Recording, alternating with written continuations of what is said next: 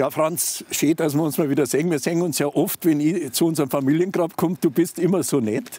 Jetzt bist du 42 Jahre lang im Dienste wirklich des Münchner Ostfriedhofs. Wie ist denn das losgegangen? Ja, angegangen ist, weil ich Sturmmetz gelernt habe. Und da bin ich zum Ostfriedhof 1973 schon gekommen. Eigentlich bin ich 49 Jahren im Friedhof. Und da kenne ich halt natürlich einen Haufen Leute. Gell? Ja, ja. Und ich, bin so gern da, also das ist für mich eine Berufung, Ja. der Ostfriedhof. Ja, schön. Und ich meine, du, du hast natürlich auch viele Menschen, die ihr bestattet habt mit, mit eurem Team. Ja, hast du natürlich auch persönlich noch kennt. Gell? Ja, klar. Ja. Also so viel schon. Ich kenne fast ein Drittel da am Friedhof. Gell? Mhm. Und da freue ich mich immer wieder, wenn alle sagen, er Schmied und das. Mhm. Und der Schmied, der ist einfach bekannt da am Ostfriedhof. Und, und der FF, Friedhof Franzi. Genau. Dein Auto hat ja, auch die Nummer Auto, FF. Ja, FF, Friedhof Franzi. Genau. Da haben viele gelacht früher das drüber. Aber heute wissen es halt alle, wenn ich komme oder wo ich stehe, der, Genau. der Friedhof Franzi halt. Ja. Der Friedhof, der, der Ostfriedhof ist über 200 Jahre alt. Äh, der ist einfach ein Stück München. Und einer der schönsten Friedhofe. Ja, es ist eigentlich der Zentralfriedhof, Ja. so wie man so nennt. Aber damals haben sie halt gesagt, wir brauchen in jedem Stadtteil einen großen Friedhof, darum haben wir sieben Großfriedhöfe. Mhm. Aber der Ostfriedhof ist halt der Ostfriedhof. Und der ist einfach, da ist auch irgendwie, die Bayern sind in der Nähe, die 60er sind in der Nähe. Ja, genau. Da ist alles da. Auf der einen Seite die Eisenbahn, auf der anderen Seite die 60er, weil die 60er mengen nicht bei den Bayern liegen. Das einzige Fehler war halt mit dem Brunnenmeier damals, weil ich hätte auf Sektion 60 da. Genau. Aber der liegt ja auch hier, gell? Ja, der liegt auch Rudi, bei uns. Der Rudi, du bist ja, du bist ja auch 60er, gell? Ich bin 60er und Bayern, das ist auch ein bisschen komisch. Aber ich freue mich halt, wenn es alle zwei, weil Bayern guten Fußball spielt. Und immer in Giersing, Ja. da bist du der 60er, das ist doch ganz klar. Absolut, absolut. Jetzt äh, hast du natürlich auch deine Wohnung da. Du lebst seit, glaube ich, Mitte der 80er Jahre, 86. bist du- 86, seit bist du- 86 gewohnt ich da. Jetzt sagen natürlich viele Leute, Mai, der ist äh, der, der Friedhof Franzi. Jetzt kommt wieder ein Auto, den lassen wir jetzt mal vorbei. Genau. Passt schon, passt schon. Also, viele sagen natürlich, Mai, jetzt, jetzt ist er den ganzen Tag hat er zu tun mit, mit Bestattungen, aber es ist ja auch nicht, es wohnt auch noch da. Aber es ist ja schön, am Friedhof zu leben, oder? Ja, das ist herrlich. Auch abends, wenn man mal rausgeht, abends einen Kontrollgang macht, wenn die Lichter brennen oder im Winter der Schnee und die Christbaum brennen. Also der Ostfriedhof, der hat was in sich. Gell? Und ist ja äh, ein super Friedhof. Ja. Jetzt sag einmal ein bisschen was über die Arbeit. Was, was, was, was ist denn so in den 42 Jahren? Da hat sich ja sicherlich auch vieles verändert. Hast du übrigens einen Laptop auch schon? Tust du schon elektronisch alles? Ja, schon haben wir auch, aber wir schauen nicht oft an die Bücher noch, weil der Laptop fällt halt manchmal aus. Also wir haben noch uralte Bücher, wir auch noch viel 150 Jahren. mit, mit der Hand auch viel geschrieben. Ja, oder? genau, die alten Schriften sind noch drin, wunderschön geschrieben, da kann man noch alles lesen. Gell? Das sind Jetzt- auch uralte Bücher. Jetzt, äh, ich, ich persönlich, ich liebe den Friedhof. Ja? Also meine, mein, meine Familie liegt ja da. Und, und irgendwie, äh, mir zirkt es da irgendwie hin. Äh, äh, Warum ist das so? Das irgendwie, Ja, das ist so. Der hat eine Anziehungskraft, der Friedhof. Viele Leute sagen das. Ja.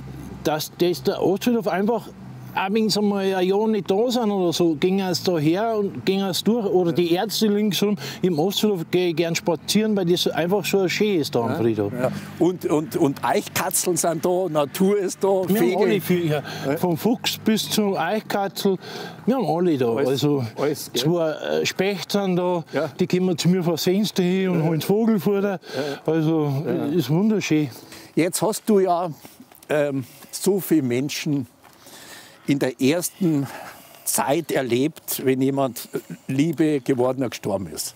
Du bist ja auch so jemand, der das versteht, weil du das auch mitfühlst. Ja. Du, du fühlst das ja. Wenn jemand, wenn jemand stirbt, da ist ja quasi, da kannst du nichts mehr machen. Also man, man hat sich nicht mehr ausgeredet, manche reden sich nicht mehr aus. Darum stehen ja auch manchmal Leute vorm Grab und, und, und, und reden noch mit den Verstorbenen.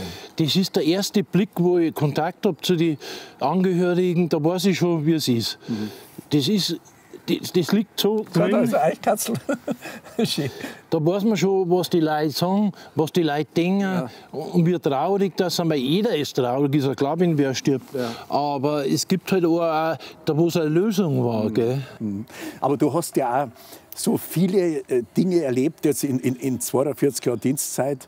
Du hast ja auch mal wahrscheinlich lustige Beerdigungen erlebt, oder? Ja. Wo, mal, wo auch jemand mal äh, irgendwie was Nettes erzählt hat beim Leichenschmaus oder, oder, oder nebenbei, wo man sind ja viele Verwandte da, aber immer die Hintersten, die da am hintersten gingen, die, die ratschen halt noch mei, das war ja schon ein netter Mensch und so. Das gehört ja auch dazu. Ja, das Leben. gehört auch dazu.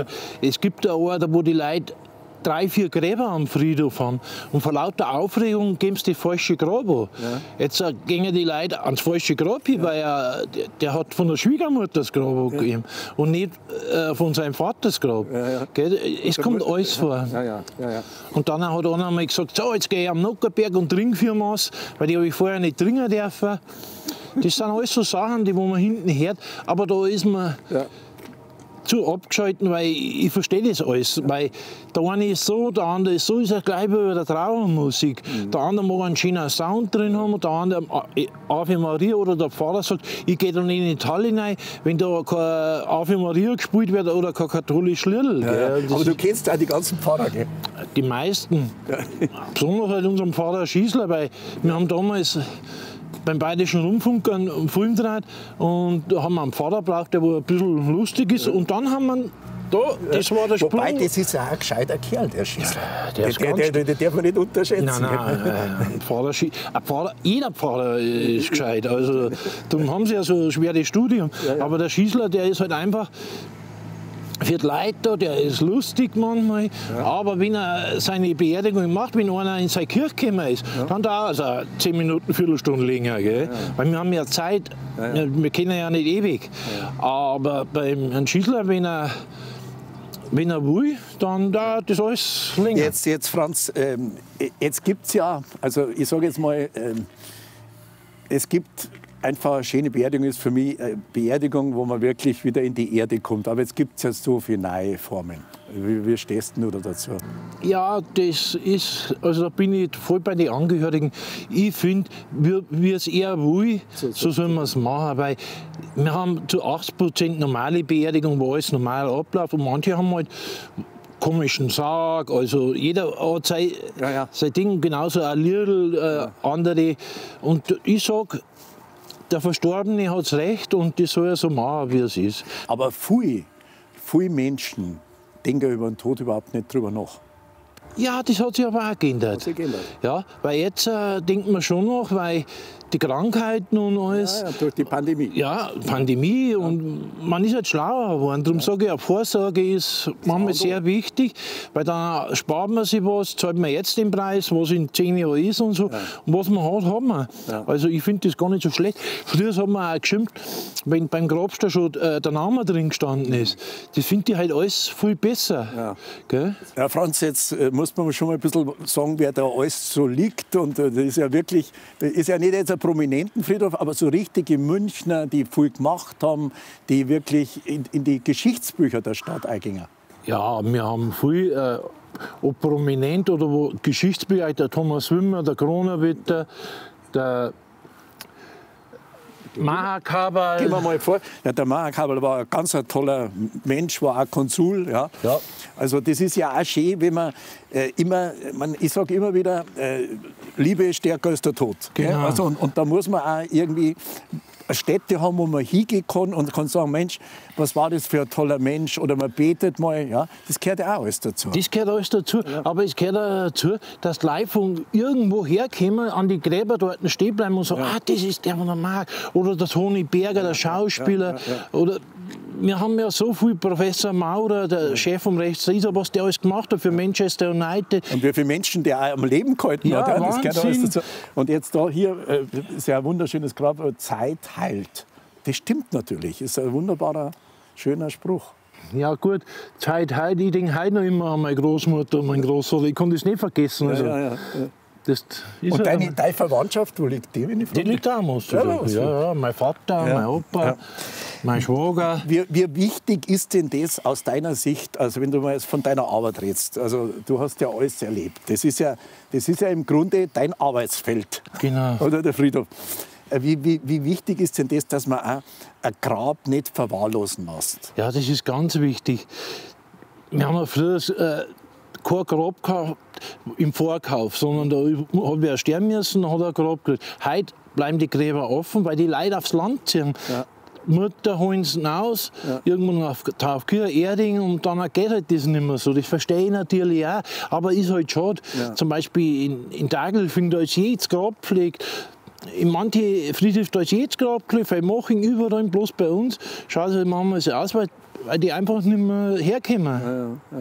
Jetzt erzähle ich immer eine Geschichte, weil ich, ich bin ja in Rammersdorf aufgewachsen und, und bin mit meiner Mutter immer wieder äh, in den Friedhof gegangen und dann haben wir einfach die, die, die toten Menschen angeschaut. Das ist, das, kann man nicht sagen, das, war natürlich nicht schön, aber meine Mutter hat es da immer hingezogen. Das haben früher viel gesagt, Gell? dass das so war. Ja. Ich habe es auch gesehen, aber da habe ich Angst gehabt, Ja, ja. ich gekommen bin. Nein, ich nicht. Und, und, und, und jetzt, als, als äh, sagen wir mal, äh, meine Großmutter gestorben ist, äh, hat die ein Urnengrab gewünscht und, am Ostfriedhof.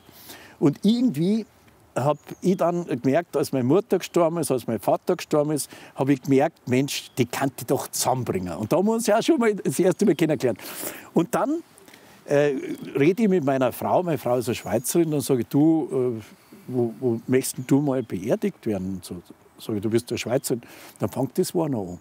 Fängt das an. Sagt, ja, willst du mich nicht, willst du mich nicht in deinem eigenen Grab haben? Und so. Dann sage ich, wir haben ja gar kein Grab. Dann bin ich, dann bin ich über den Friedhof gegangen und sehe da vorne das Grab von uns. Da können wir jetzt vielleicht, dann, da können wir jetzt mal hingehen? Genau. dass die vielleicht Ja. unsere Zuschauer das auch sehen.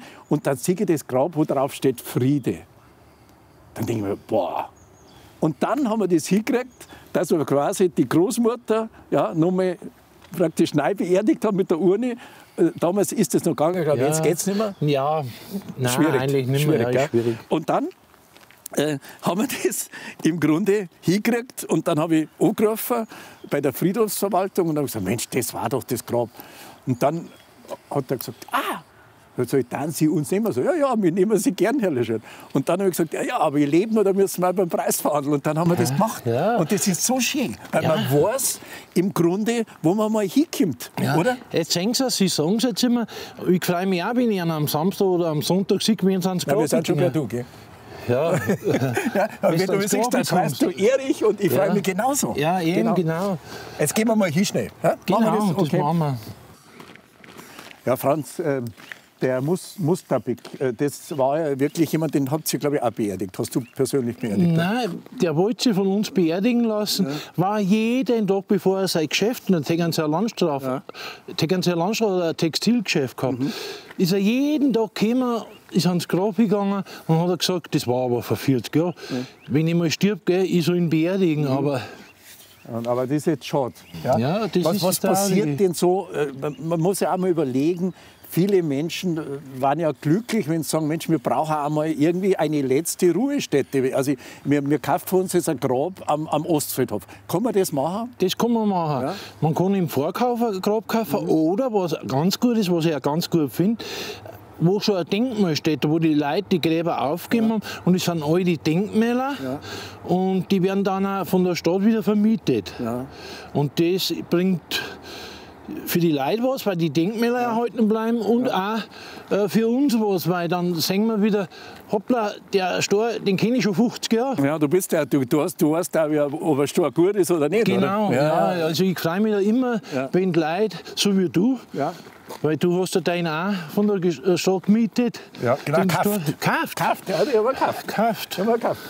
Jetzt äh, muss ich da, jetzt, jetzt kommen wir ja in der Nähe von unserem Familiengrab. Und zwar daneben, das Grab ist ähm, das Grab da. Das meine ich. Äh, da war ich mal, als, als das Familiengrab, also äh, als wir es gehabt haben, das, da war ich richtig stolz drauf, weil man Mensch, das ist schön. Und dann war da eine, eine Frau, hat also rum, rumgattelt. Also, ja, nein, nein, da, Entschuldigung, da, da sind wir. Da sind wir. Die Frau Hoffmann. Und dann war ich da bei unserem Grab daneben. Dann sagt sie, schaut sie mich so an, sagt sie, sagen Sie mal, sind Sie der Le Schön vom Fernsehen? Dann sage ich, ja. Dann sagt sie, mei, dann liegen wir mal nebeneinander. Ja, ja, ja.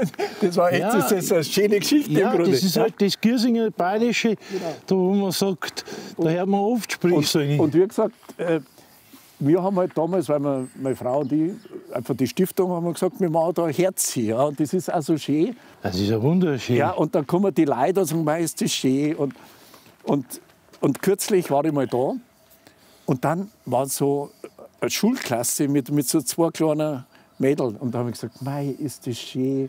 Und, und dann haben wir so die Geschichte erzählt, wie das entstanden ist. Und das ist ja auch so wunderschön, wenn, sagen wir mal, ein Grab, es, spricht ja auch, erzählt ja Geschichten, Genau. oder?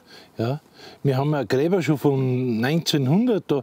Und was da alles passiert ist, oder bei der Beerdigung, wenn du hörst, wa- was die Leute alles gemacht haben, was die alles geschaffen haben, das kann man sich ja gar nicht vorstellen. Und da, damit wird auch mancher Mensch unsterblich, wenn Ja. man mal die Geschichten erklärt. Weil, Genau. weil das ist ja, das Leben ist ja auch Geschichte. Ja, eben. Geschichte beginnt und die mal endet. Ja, Ja, genau. Aber äh, wie, wie, wie ist denn das? Äh, du, du hast jetzt Tausende von Beerdigungen gemacht, viele Menschen begleitet. Du bist ja wirklich also ein wunderbarer, einfühlsamer Mensch. Ähm, da kommt ja immer der Gedanke, gibt es ein Leben nach dem Tod? Wie denkst denn du darüber? Ja, ich hoffe ich hoff's. ja, ja, weil kein Mensch weiß das. ja, das ist eben, ja das Geheimnis, gell? Ja, ja, Ja. aber ich hoffe es halt deswegen, weil ich ja so viel kennt habe. Ja. Und Dass du- meine Großeltern und alles, ich mehr halt einfach, dann hat schon ein Pfarrer gesagt, na wäre es noch viel schöner, das will ich ja gar nicht. Ich will das haben, was früher war. Also ich mag jetzt nicht von der alten Zeit reden, aber ich freue mich halt wieder, wenn ich meine Leute sehe. Und darum hast du auch alle zusammengehalten. Ja, da. freilich. Und das ist halt das, das ist doch was Wunderschönes, wenn man mal kurz redet, du wirst auch mal sagen, meine, meine Tante Und ich oder meine, mein- ich mein, was, was auch schön ist, äh, meine Frau und ich, wir haben uns entschieden, wir stehen ja schon drauf. Ja, weil eben. ich einfach sage, da, da weiß ich mal genau, wo, wo die Leute sagen, mei, ich hab den kennt oder weil ich sage, mei, schau jetzt ist er, jetzt ist er gestorben. Also ich finde das schön, wenn man weiß, wo man mal wirklich landet. Ja? Ja? Nein, das ist, aber, das ist halt was, was dazugehört zu unserer Ja. Kultur. Darum sage ich ja immer, ein schönes Grab, ein schönes Ding, das ist, um- zufrieden muss man sein und das ist Absolut, wichtig. absolut. Zufriedenheit ist ganz Jetzt, wichtig. jetzt gehen wir mal, weil das ist auch wichtig, wir sind ja beide Münchner, jetzt gehen wir mal zum Rudi Brunnemeier. Genau. Zum alten 60er. Genau. genau, das machen wir. Herr Franz, äh, den Rudi Brunnemeier, das war ja schon mal in deiner Zeit. Hast du den selber beerdigt? Ja, Hast du Nein, beerdigt? beerdigt habe ich ihn. Aber ich war nicht da beim Grabkauf, weil sonst hätte ich ihn auf Sektion 60 da, weil Ja, freilich. ein 60er gehört auf 60. Ja, die- Und jetzt ist er auf Sektion wo? 36a, Ja, 36. 36b. Aber schau mal, das ist doch, also wenn man, also ich habe natürlich auch Kind, das war ja schon, das war schon ein Torjäger. Gell? Ja, der war einmalig, das war der Lewandowski damals. Ja, ja, der war, ja. Genau. Also ein wunderbarer, aber da waren auch alle Löwen gut. waren alle gut. Waren alle gut. Heute sind's, aber, Und da haben sie noch gekämpft, da waren sie noch Löwen. genau. aber gehst du noch ab und zu, schaust du Ja, die ja, Löwen? klar. Also die Spiele schauen wir immer, aber im Fernsehen halt jetzt. Weil im Stadion ich mein Bruder im Rollstuhl ist 60er nicht so gut. Da ist die Allianz Arena besser. Aber du, dein Bub ist fit, oder? Ja, der ist total fit. Das ist schön. Das Der ist wollte auch bei der Stadt anfangen, schön. ist aber nicht gegangen. Ah, das ist schade. Ja. Das ist schade. Ist ja bei mir auch so. Ja. Ich darf ja bei der Stadt bleiben. Ja. Aber da ratschen wir gleich noch mal Genau. ein bisschen später. Aber jetzt äh, gibt es ja auch noch den, den Sohn von der Sissi, oder? Ja, genau, der, Der liegt liegt da ja bei uns. irgendwo in der Nähe da, gell? Genau. Ja. Aber jetzt, äh, sag einmal, wenn, wenn jede Beerdigung ist ja irgendwie anders. Jede Beerdigung ist Oder du anders. kannst nicht sagen, wir machen das so oder so, sondern gibt es Wünsche von Genau. den, von den äh, Hinterbliebenen? Genau, Oder? und das ist ja richtig so. Ja. Man soll so beerdigt werden, wie man, Ja. wie man wollen hat. In der Musik, auch mit dem Pfarrer oder nicht Pfarrer. Jeder sollte das haben und da muss man sich darauf einstellen. In die ersten zwei, drei Minuten weiß ich schon, wie ich reagieren muss, wie die Leute sind. Weil manche sind halt total, da kommst du nicht hin zu ihnen und, und die Menge bloß beerdigen. Und Aber ja. manche sind auch total erschöpft, wo, wo, du einmal, wo du einmal hingehen musst oder wo auch jemand einfach ohnmächtig wird, weil, weil einfach so das Herz so weh tut. Ja, Ja? haben wir auch. Hab, habt's auch da, seid aber ihr sofort da? Und, Wir und, sind sofort da und wir fragen dann, ob ein Arzt da ist. Also wir haben ein Herz, für das Herz. ja, genau. Def, Defi. Ja, genau. Defi haben wir da. Also wir haben alles da. Also da sind wir schon und haben wir, jeder Aufseher macht einen, einen Kurs, das der erste Hilfe-Kurs, gell, und das ist auch wichtig, dass die Leute wissen, am Ostfriedhof sind sie in gute Hände. Du liebst den Ostfriedhof, Ja. das merkt man. Gell? Das ist irgendwie, das ist irgendwie dein, dein Heimspiel. Ja, ist Schön. der liegt mir am Herzen. Ja, wunderbar. Jetzt sind wir, jetzt glaube ich, da. Ja, da in der Sag Mitte, der Schwarze. was drüber, Franz.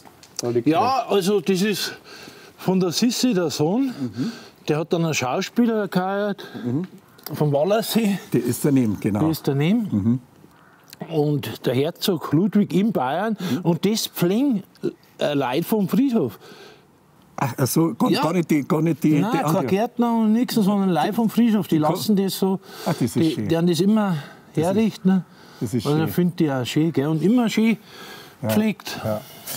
Jetzt gibt es ja auch, äh, sagen wir mal, nach 42 Jahren den Franz, der hört ja nicht auf. Du, du machst ja weiter, du hast ja so ein, eine Erfahrung ein, in der Trauerbegleitung.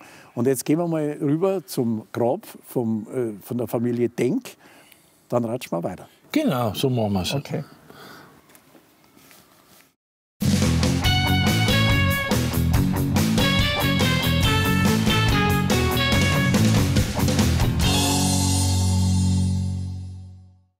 Ja, wir wissen ja alle, als Münchner, der Borndelgrammer steht für Tod. Und Toni Berger war einer der besten Schauspieler für den Borndelgrammer. Nicht nur. Der hat aber das gut äh, du hast ihn wahrscheinlich auch beerdigt, Genau. oder? Ja. Wie, wie war die Beerdigung? Waren viele Leute da? Da waren viele Leute, der Oberbürgermeister, Schauspieler. Und wenn es dann mit den Schauspielern so ein bisschen redst, weil man steht ja dann an der Seite und so, dann merkt man erst, wie manche Schauspieler sind, dass die total in Ordnung sind und nicht einfach. Da machst du mal, ja, ein großer Schauspieler, gell. Wie beim Patrick Lindner, der kommt fast jeden zweiten, dritten Tag ans Grab hin zu seiner Mutter. Und der redet jetzt mal, riecht einen schönen Gruß an meine Frau aus. Und da freust du dich halt auch, dass der. Freilich. Der Friedhof ist ja auch so eine Kommunikationsplattform. Ja, gell? Die ja. Leute ratschen, du, die Ja. kennen die alle und du, du, die, du bist einfach beliebt. Ja, das ja, gut. ja, nein, du- Aber ich, ich mache halt das gern, weil ich bin ein Aufseher, da musst du ein bisschen um die Leute auch kümmern. Und dass die Leute wissen, sie haben eine Ansprechperson, weil unsere Verwalter, die haben einen Haufen Arbeit am Telefon, da rufen jeden Tag an. Und wir Aufseher sagen halt dann, mei, da muss die Erden aufgeholt werden. Man muss ja für die Leute da sein. Das Das. Und, und, und manchmal wollen die auch was loswerden oder, oder äh, sagen, der erzählen dir die Geschichte, wie, wie der Verstorbene war. Das, die sind ja alles Geschichten. Am, am Friedhof, jed, jedes Grab äh, steckt eine Geschichte dahinter. Bei jedem bei jedem Verstorbenen, manche Leute, kurz vor der Beerdigung erzählen mir das, wie es im Krankenhaus war, was er noch gemacht hat und äh, was sie noch machen wollten. Also das bleibt dann in Erinnerung. Und das finde ich aber auch schön, dass die Leute, die haben so viel zum Tor, wenn wer stirbt. Und irgendwie mengen sie es halt erzählen. Gell? Und, Einfach loswerden. ja, auch, genau, und da bin halt ich auch dafür da. Ja, Das ist schön. Ja. Das, äh, du bist da irgendwie so wie so ein Psychologe. Gell? Du kannst ja die Leute auch irgendwie auffangen oder ihnen Kraft geben. Ja, oder so. genau, und das ist ja total wichtig. Das weil früher, viele Leute sagen, ich war nie am Friedhof. Und jetzt wir es ja, wie gesagt, jeden Tag. Und dann sind sie froh, dass sie einen haben, wo sie eine Geschichten losbringen. Da im Altersheim drüber, die Alten, die kommen da rüber, die haben wir keinen. Und die, es ist traurig einfach. Da ist wieder eine Münchner Großstadt, weil die, die Alten werden viel zu wenig. Jetzt ist es ja auch so, Franz, ähm, gerade jetzt in, in Zeiten der Pandemie äh, hat es ja zum Teil äh, Beerdigungen gegeben mit drei, vier, fünf, sechs Leuten nur, ja? weil, weil einfach das nicht mehr, äh, mehr gegangen ist. Das ist ja schon auch Ja, schlimm. das gell? war ganz schlimm. Oder? Das war ganz schlimm, weil da denkt man ja selber mit, was der im Leben alles gemacht hat, Doktor oder Professor oder in Amerika und, und dann auf einmal kommen sechs Leute. Das ist Wahnsinn. Und auch für die Angehörigen, die da bleiben, weil die sagen sich, mein Vater, der hätte da waren eine Hunderte gekommen. Gell? Da ist auch dann kein richtiger Abschluss da, weil man sagt, äh, ich durfte früher gar nicht ins Krankenhaus gehen, ich durfte nicht mehr, ich- also das ist ja auch verabschieden. Ja. Ja, das ist wirklich schlimm. Aber wie gesagt, viele machen dann nachher nur eine Trauerfeier im Sommer wieder, dass wieder das alles auffangen. Weil du kannst doch nicht sagen, es waren sechs Leute. Ja, die anderen, die, die fragen nach, die rufen, oh, du, was ist denn da? Ja. Wie, wie wichtig ist denn das aus deiner Sicht, wenn man irgendwie jemand verliert, also jetzt einmal Mutter oder Vater, dass man praktisch nochmal den Verstorbenen sieht? Wie wichtig ist denn das? Ja, für die einen total wichtig, dass das lese. Und für mich jetzt weniger, weil ich morgen so in Erinnerung er war. Ja. Weil wenn ich dann oft auch sehe, wie er früher ist, da haben wir die Verstorbenen, hast du selber gesagt, da seid durchgegangen durch das Leichenschauhaus und haben die Verstorbenen gesehen, die haben ausgeschaut, als wir 20 Jahre jünger. Ja, ja. Aber heute durch die Medikamente können wir ja fast die Serie gar nicht mehr aufmachen, weil der Übergang zu groß ist. Gell? Die Medikamente, die machen voll, kaputt. voll kaputt. Und das ist besser so. Man hat ihn so in Erinnerung, wie er war. Weil früher bei meiner Oma, wie man da man, die ist ja 60 und nicht 80. Ja, ja, ja, ja stimmt. Aber trotzdem, manchmal ist es schon gut, wenn man vielleicht auch noch mal, äh, also zum Beispiel äh, in, in der Schweiz, von meiner Frau weiß ich das, dass man dann auch beim Toten nochmal bleibt, also also Totenwache macht. So ja, das, das, ist schon auch was Gutes. Das also, ist ganz was Gutes. Aber wie gesagt, der, wo das möchte oder wo das mhm. haben, weil wir haben ja Verabschiedungsräume, da sind manchmal vier, fünf Stunden bleiben die dann ja. beim Sarg dort. Gell? Und viele Bestatter haben Verabschiedungsräume, ja. dass sie sich da einfach besser verabschieden. Und jetzt gerade bei der Pandemie ist ja das total wichtig. Für manche, für manche wieder. Jetzt, jetzt bleiben wir noch beim Bordelgrammer. Du hast ja auch äh, eine Gruppe, die heißt auch Bordelgrammer. Ja, Wie ist das entstanden? Ja, das ist entstanden, weil die allgemeine Verunsicherung singt das Lied Drei weiße Tauben. Mhm. Und das haben wir am Friedhof angehört und haben wir bei Mike Thiel angerufen beim Gang ja, und haben dann gesagt, wir mengen das Lidl her. Dann hat er gesagt, wo sitzt ihr? Ja, am Friedhof. Mhm. Ja, dann könnt ihr es ja bei mir in der Morning äh, schon singen. Und das heißt die Schüttparade. Ja. Und wir waren da 43 Mal. Wir waren da immer am ersten Platz. Gell?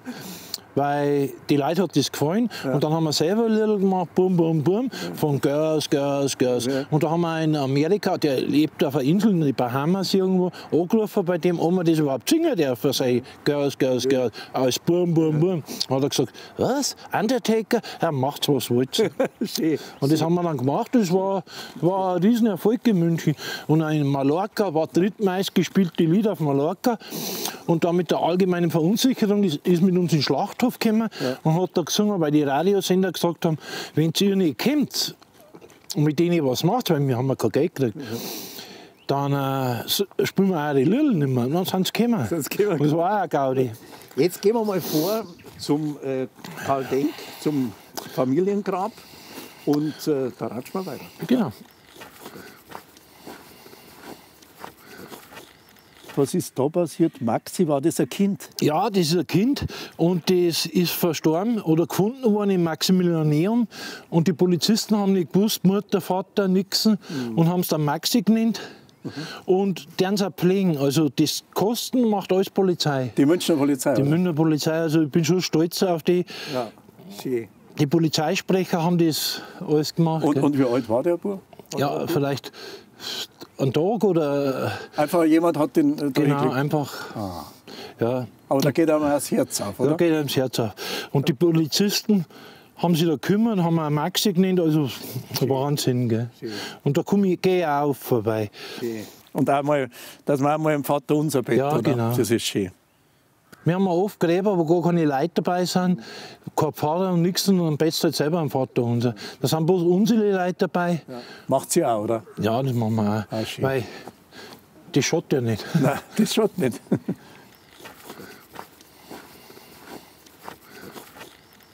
Ja, Franz, du bist beim Leiberregiment. Was, was hat jetzt das mit dem Grab zum Tor? Ich bin Mitglied da dabei, weil der, der Baron ist der Vorstand von, von von König Ludwig sein Leibregiment.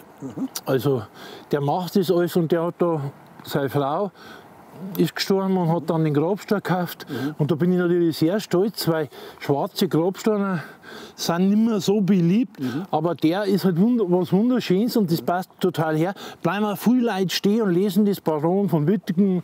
Und das ist wirklich ein schönes. Und den hast du auch persönlich kennt, oder? Den habe ich persönlich kennt ja. und da bin ich auch stolz, dass ich da in dem Bleiberegiment bin, mhm. weil das Leibregiment von König Ludwig, das waren noch gute Soldaten, ja. das haben, die haben Gräser haben ein, ein groß, ja. groß sein müssen, eine bestimmte Größe und vor allem nicht vorbestraft sein. Ja, ja. ja das ist, das ist wichtig. Genau, wunderbar.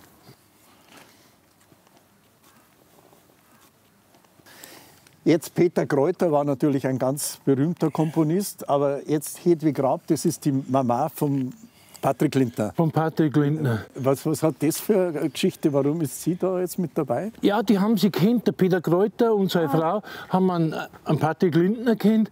Und sie lebt da in Amerika, die Kräuterwitwe, ja. und hat da das Grab und hat gesagt, sie kommt da von Amerika nicht so oft her, ja. ob er das Grab übernimmt.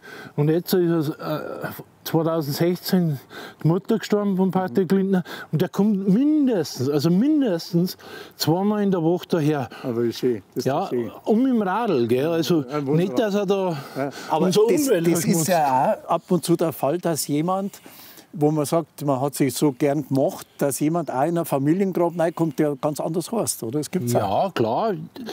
Das kommt ja bei mir auch vor, dass sagen, ja, kann die da auch rein oder kann, ja. das wenn es geht, dann geht es. Also, das muss man natürlich beantragen. Auch. Das muss man alles beantragen. Ja. Aber wie gesagt, wir sind froh, dass die Schiene gerade erhalten bleibt. Wunderschön. Aber es ist auch schön von Patrick Lindner, ja, dass, er, Patrick dass er die Mama nicht, äh, dass er die im Herzen tragt. Ist ein total guter Mensch. Ja, wunderbar. Ja, Franz, 42 Jahre, jetzt irgendwie hast du es bald geschafft in der Zeit, aber du bleibst ja da. Du hast eine riesige Erfahrung. Jetzt habe ich so ein bisschen gehört, dass du irgendwie jetzt in der Trauerberatung weitermachst beim, beim Sohnemann, oder? Beim, ja, ja wenn es geht. Ja. Weil bei der Stadt geht das leider nicht, weil es keinen 450-Euro-Job gibt. Aber das ist doch schade im Grunde. Ja, das ist wirklich schade. Ja. Und ich möchte es nicht aufgeben, weil ich ja so viele Leute da kenne und die Erfahrung. Und ich bin halt einfach für die, für die Leute da. Gell? Und ja. da möchte ich beim Karl Albert denken, wenn es geht, wenn er mich nimmt. Ja. Aber er hat schon gesagt, das, das ist das geht. Problem. Genau. Da war er ja ungeschickt, ja, genau. du hast ja eine riesige Erfahrung. Äh, die, die Trauerberatung, was, was, was, wie wichtig ist die? Also es ist ja erst einmal, wenn jemand gestorben ist, der ist weg. Also man, kann, man, kann, man hätte noch so viel sagen. Da ist ja wichtig, dass man den, den, die Verbliebenen, dass man die auffangt. Genau. Ja. Und das ist halt das, wo wir machen müssen, die wo damit Erfahrung haben. Erfahrung haben ja. mit Dingen, ja. weil das musst du in die ersten Minuten wissen, hat man, der braucht so, der andere braucht so, ja. weil ohne jedem geht das nicht. Und da brauchst du gescheite Bestatter. Und das ist halt das Haus Denk, also Bestattung, Karl Albert denkt, das ist halt einer der besten in München. Ja, absolut, absolut. Und darum haben wir ja. das ausgesucht. Jetzt, äh, ich, ja, ich kenne ja den Karl Albert auch. Äh, der hat ja etwas ganz Neues gemacht. Der hat also gesagt, die Bestattungsautos, also die Leichenwagen, die machen wir weiß. Das ist ja schon eine gute äh, neue Entwicklung. Also ja, klar, aber es muss nicht immer schwarz sein. Ja. Weil es gibt ja Beerdigungen, die wo sagen, nur in weiß kommen. Gell? Ja. Aber das Weiße ist halt für die neue Hoffnung und für ja. Ding. Man muss ja nicht immer, das Schwarze muss immer so, oh, jetzt kommt der Leichenwagen da unten. Weil ein Weißer schaust halt und sagst, ah, da wird wer, ist wer gestorben. Aber bei den Schwarzen sagst du, oh, da fällst du gleich in Trauer. Jetzt äh, ist es ja so, also ich bleibe jetzt mal bei der Firma Denk, also beim Bestattungsunternehmen. Äh, das ist ja auch äh, ein unglaubliches, eine lange Tradition. Das ging ja los, äh, die Schreinerei, Schreinerei Sarg, Sarg, Sarg, ja. Also die haben ja so eine riesige Erfahrung und das ist ja auch wichtig, wenn man einfach so den Verstorbenen dann bestatten muss. Das, das ist ja, sind so viele Sachen, die man beachten ja. muss. Und das hat der der Herr Karl Denk, ja. der Bestattermeister, hat das total kennen. Also ich habe heute noch Respekt, schon allein, wenn er sein Auftritt, wenn er gekommen ist und hat sogar uns von der Stadt, geht das mir so machen und so machen. Also das war ein richtiger, ja. da hast du wirklich Respekt gehabt. Und die, und die Leute, der hat die alle im Griff gehabt. Ja. Die haben das alles, also das ist eine der besten Bestattungen in München. Absolut. Und vor allen Dingen, der war auch so irgendwie so, so menschlich. Also als, und, und wirklich, er hat ja ganz große Leute bestattet. Ja. Und das ist ja, äh, ja, leider jetzt durch, durch die Pandemie ist einfach so, die Beerdigungskultur ist ja in vielen Dingen einfach äh, ja, traurig im Grunde. Ja, klar. Im aber der Denk war halt so, wir der Käfer in der, in der Gastronomie ist. Und war er halt beim Bestatter, der war angesehen, jeder ist zu ihm hingegangen. Und wenn du nicht bei uns bei der Stadt natürlich auch, aber wir haben halt jeden bei uns äh, bei den Beerdigungen, die wo kommen und wo sagen, sie mögen von der städtischen, weil wir haben ja viel, wir haben ja über 70 Prozent in München gehabt, ja, ja, Bestattungen. Aber der Karl, der Karl Denk war halt einfach ein Bestatter erster Klasse, geht ein Mercedes. Ja, absolut. absolut. Jetzt äh, muss ich dich schon mal fragen, ähm, hast du mal über den Tod nachgedacht? Ja, schon öfters. Aber das Leben ist halt so schön. Ja, ich will weiterleben und ich mag für meine Familie da sein, für meinen Sohn, ja. für meine Frau, für meine Schwiegereltern. Ja. Und Dein Sohn sitzt ja im Rollstuhl? Genau, der sitzt im Rollstuhl, der von der Geburt an. Ja. Aber ja, spielt Basketball, er ja. ist total fit. Und, und das ist auch irgendwie euch äh, eine Familie, die Familie Schmidt, heute auch die Liebe zusammen. Genau. Das ist, das ist auch was wahnsinnig Wichtiges. Die Liebe und dann, dass man zufrieden ist mit dem ja, Leben, ja. mit dem, was man hat. Und da kann man viel machen. Weil früher haben sie ja nichts gehabt, da hat keiner was gehabt. Ja. Aber heute soll man zufrieden sein mit dem, was man hat. Und äh, man sollte da überlegen, dass eben jeder Mensch wird irgendwann einmal von dieser Erde gehen müssen. Ja? Und das heißt, äh, man sollte sich auch ab und zu mal mit dem Tod befassen. Also genau. man sollte nicht immer denken, es geht so weiter. Und der Tod äh, hat ja irgendwie, äh, wie soll ich sagen, man weiß nicht, wann man stirbt. Ja, ja. Aber, aber, aber, wenn man sich mit dem befasst oder gerade ich sage es wieder aus meiner eigenen Situation, wenn ich weiß, ich habe da ein Grab, ich weiß, da kehre ich mal hin, das beruhigt auch. Das beruhigt. Und ja. das, was bei dir am Grab steht, ist Friede, ja. das soll sein auf der Welt. Weil dann hat man halt nicht immer, hört man das und das und das. Friede ist total wichtig. Absolut, absolut wichtig. Und vor allen Dingen, was, was auch wichtig ist, dass man eben einfach den Tod als eine auch normal ansieht und nicht irgendwie und, und viele Menschen haben ja im Grunde nicht Angst nur vom Tod, sondern vom Sterben. Ja? Und, und darum ist es auch wichtig, dass man auch versucht, äh, immer wieder reiner zu werden, dass man immer einmal sagt, ich, ja. ich, ich, muss gewisse Dinge muss ich, oder dass man dann mehr glaubt und so. Ja, oder, oder dass man einmal, wenn man, wenn man also man, ich, ich komme ja auch aus ganz armen Verhältnis, aber ich habe also durch, äh, mit, mit meiner Frau durch harte Arbeit viel erreicht, aber dass man auch was zurückgibt, dass man einmal ja, loslässt. Das macht ja, das letzte Hemd, die Stiftung ja, klar, alles, also. Und das letzte Hemd hat keine Taschen. Das, Nein, das, erstens das und zweitens, man braucht ja nicht, man, man braucht ja nicht zehnmal irgendwo hinfliegen. Nein, nein, nein. Und, und, und gerade jetzt, das ist so schön und, und ich meine, äh, ich muss noch mal sagen, Franz, du hast wirklich einen super Job. Schau, sie kommt da wieder, das Eichkatzel. Das verfolgt uns. Das, das verfolgt uns. Und die sind auch richtig zahm. Gell? Ja, ja, her, ja die, gut, die möchte eine Nuss. Ja, ja, Letztes Mal haben wir gesagt, ja, ja. hast du eine Nuss, aber ja, genau. Äh, hab ich haben wir keine dabei. Aber nochmal, super und mach so weiter. Vielen herzlichen Dank. Gell? Und wir bleiben im Kontakt. Hab mich gefreut, Erich. Ich freue mich auch. Gell? Also, liebe Zuschauer, das war's. Das mal mit dem Friedhof Franzi. Und ich denke, es war eine wunderschöne, aufrichtige Sendung. Herzlichen Dank. Wir sehen uns wieder beim nächsten schönen Tag. Bis dahin noch eine schöne Zeit.